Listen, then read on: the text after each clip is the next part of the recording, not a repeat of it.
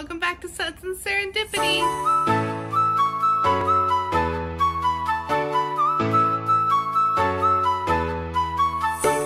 I just wanted to wish everybody a happy Father's Day and a happy Sunday.